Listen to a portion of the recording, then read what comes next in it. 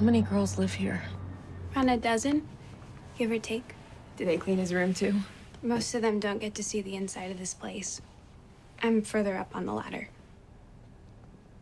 What about your family? And your friends, do you get to see them? My dad was a hammer. My mom was a nail.